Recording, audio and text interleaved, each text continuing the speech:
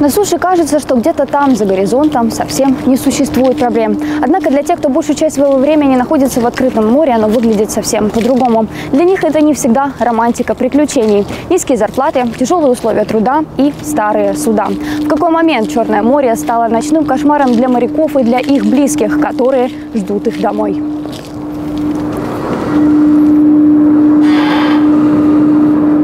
Поднялся на мостик, отправил сообщение, что мы немного в шторм попали. И пошел спать. И не успел дойти, мы уже сломались. Волны были очень большие. Немножко погода подвела. Всего пару дней назад пятеро украинских моряков благополучно вернулись к своим семьям после страшной катастрофы у берегов Турции. Судно «Арвин», принадлежавшее одесской компании, направляло груз селитры из Грузии в болгарский Бургас. Противостоять стихии сухогруз долго не смог, и уже утром 17 января 2021 года стало известно о первых погибших. Среди тех, кому удалось спастись, одессит Влад Затерка. О надвигающейся непогоде парень сообщил своей невесте в мессенджере и больше не выходил на связь появилась информация. Сообщение пришло в начале 12-го о том, что шторм. Ну, как бы я не придала этому особого значения, потому что штормы — это вообще обычное явление в море.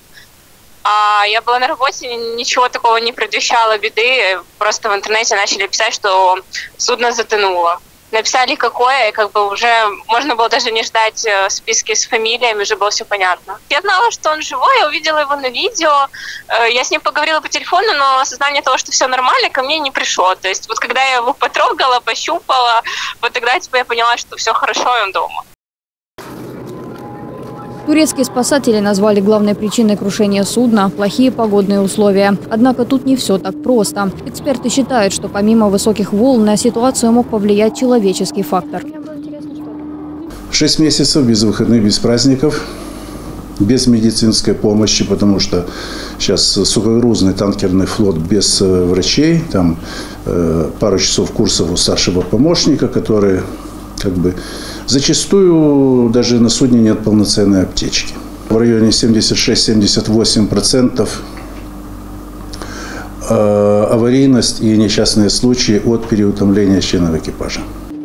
Перед выходом в море судовладельцу необходимо получить сертификацию о хорошем техническом состоянии морского транспорта. В региональном представительстве регистра судоходства Украины нам рассказали, что судов, полностью соответствующих стандартам безопасности, просто нет. Это связано с тем, что любая, пусть и небольшая погрешность, может стать причиной поломки.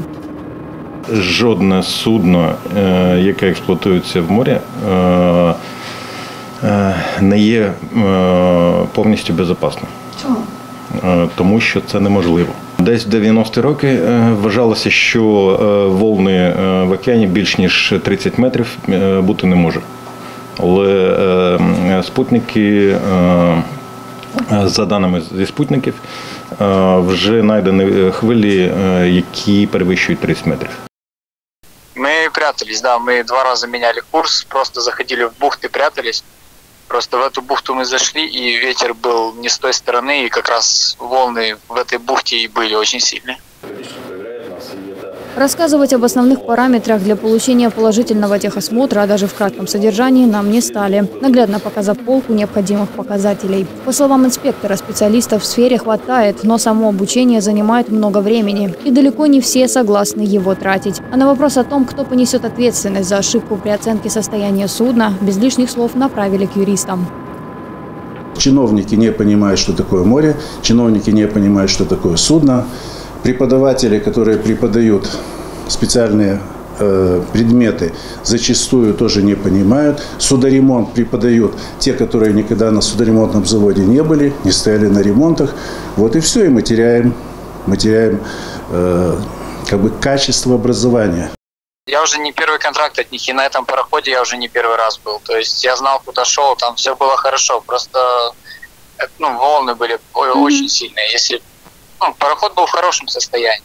Там журналисты написали, что он был в очень плохом состоянии. Да, он не новый, но состояние у него очень хорошее было на его возраст. К великому сожалению, похожие трагедии, они приобретают э, системный характер. Вот несколько лет назад, примерно в это же самое время, э, такой же пароход с таким же, э, такого же возраста преклонного и с украинцами на борту также потерпел крушение у берегов Турции. И тогда тоже погибли и украинцы, и несколько моряков другой, других национальностей. Вот. Это, к великому сожалению, становится нормой. И субстандартное судоходство в украинских водах и в Черноморском бассейне – это та история, которой мы уже порядка 10 лет пытаемся привлечь активное внимание. Профсоюзам, которые призваны защищать интересы моряков, в морском обществе принято относиться с опаской. Часто к ним обращаются после того, когда ситуация с недобросовестными судовладельцами и крюингами становится критичной. Есть система подписания коллективных соглашений между профсоюзом и судовладельцем. Он является определенным э, гарантом того, что на судне есть коллективный договор, есть нормальные условия труда и есть взаимоотношения между профсоюзом и судовладельцем, что в свою очередь помогает моряку быть уверенным в том, что его права не будут нарушены, а если они будут нарушены, то есть профсоюз, который будет решать его конкретную проблему, либо проблему всего экипажа. Просто моряки не имеют привычки привычку обращаться за помощью. А это порождает огромное количество домыслов. Э, они ничего не делают, они ничего не знают, они находятся в отрыве от наших проблем. Это абсолютно неправда. Одесский профсоюз моряков заявляет, что постоянно предупреждают мореплавателей о нечестных судовладельцах, но люди продолжают подписывать сомнительные контракты. 95% обращений за помощью поступают от мореплавателей, не состоящих в профсоюзе. Обычное обращение – это обращение, связанное с невыплатой зарплаты, э, обращение, связанное с утратой трудоспособности в связи с работой в море, э, заболеванием, которое получено на борту. А, часто семьи э, обращаются в связи с пропажей моряка с борта судна. Волгобал 214 ситуация аналогичная как с Арвином, э, и случай тот произошел тоже в январе 2019 э, года, э, и были погибшие, были пропавшие без вести, и мы помогали двум семьям получить компенсацию в связи со смертью моряков в той ситуации, которая сложилась тогда. К сожалению, у нас нет в настоящее время копий трудовых контрактов моряков, мы не знаем в данном случае было ли покрыто судно каким-либо коллективным договором, и э, поэтому утверждать или что-то конкретно сказать о том, э, какие выплаты полагаются в настоящее время семьям погибших моряков, нельзя сказать, потому что нет никаких условий. В воде два с половиной часа мы где-то проплавали. Спасли нас в разных местах всех, то есть кто куда. Я увидел их не в больнице, нас когда военные вытаскивали, я получается, меня с третьего вытащили. Я спросил, сколько людей спасли, они сказали трое, но поиски идут. И получается, мы, пока они остальных искали, находились э, вместе, нам дали курточки эти, э, спасательные. Моряку не так легко попасть на хорошее судно, на хорошего судовладельца. А ему нужно кормить свою семью, у него дети, у него жена, у него часто старые родители, коммуналка, питание, медицина. Вы же посмотрите, у нас все дорожает. Начинающий моряк его на большие зарплаты не возьмут. Он работает по минимуму.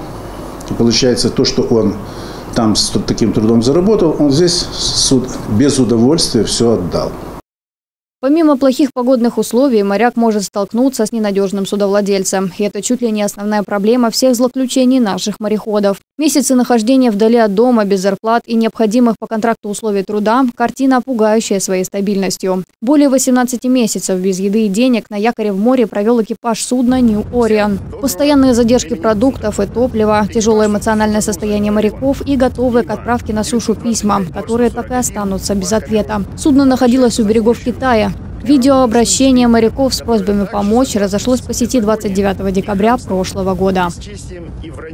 Ни по одному из письменному запросу экипажа со стороны представителей компании нет никакого вразумительного ответа, а тем более действий. Все, что от них слышно, это многомесячное обещание и слова о том, что обращаться кому, кому бы то ни было за помощью бесполезно. Сейчас активно обсуждается кейс Нью Ориона, о котором я не могу не сказать. Это тоже моряки, украинцы, которые находятся на судне достаточно продолжительный период времени, еще и в э, рамках проблематики глобальной пандемии. Э, мы с судном New Orion имеем дело уже на протяжении последних четырех лет. В 2018 году мы помогали морякам, выбивали компенсацию судовладельцев, возвращали их домой и об этом печатали на всех наших возможных площадках. Интернет, Facebook, наш веб-сайт, наш телеграм-канал. То есть везде было сказано о том, что это проблемный судовладелец, проблемное судно и что с ним мы не рекомендуем иметь дело. Что мы имеем на практике? Новые люди едут туда, имеют те же самые проблемы, и все э, мы дружно теперь э, пытаемся решить эту существующую проблему, хотя нужно четко понимать, что если бы моряки отказывались от работы, ну, украинцы в частности, отказывались бы работы на, тако, на таких судовладельцев, то и проблем бы в итоге и у них, и у нас было бы гораздо меньше. Несмотря на целый список проблем, с которыми часто сталкиваются моряки, заявлять о своем недовольстве на камеру готовы не все. Меры привлечения внимания выбирают разные. Кто-то выходит на массовые акции против невыполнения контрактов и коррупции в сфере дипломирования, а кто-то предпочитает наблюдать за происходящим и ждать, пока все решится само собой. Суровой реальностью рынка морских перевозок стали просроченные контракты и невозможность проведения ротации экипажа судов. Помимо всего, к списку добавилось еще и социальное дистанцирование которая стала причиной смены режимов работы портов и уменьшила численность экипажей. Нужно как-то менять эту политику. Нужно нас повернуть лицом к морю. Мы же нас отвернули уже от моря. Такое ощущение, что в Одессе его уже нет давно. Я уже не вижу, кому оно интересно.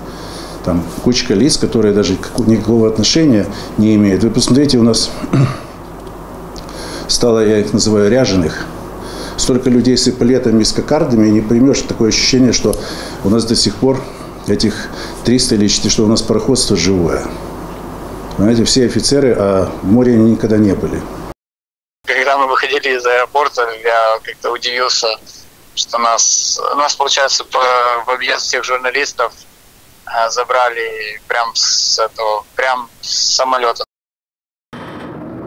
Сопротивляясь трудностям, моряки продолжают выходить в море, обращаясь к посредникам, чтобы прокормить свои семьи. Работают на судах, оставленных судовладельцами на произвол судьбы, без своевременных зарплат, топлива и провианта. Пытаются выжить в непростых погодных условиях и не перестают думать о доме. Уже покинув пределы опасности, стоя на мостике в портовом терминале, моряки уверены, можно начать жизнь сначала. Татьяна Бурумбей, Константин Нищерет, Герасим Олесенко в телеканал «Репортер». Да, скорее всего, в море я вернусь, даже, возможно, от этой же компании. Компания это неплохая. Дело не в компании. Просто, просто шторм. Такое могло случиться с любым пароходом.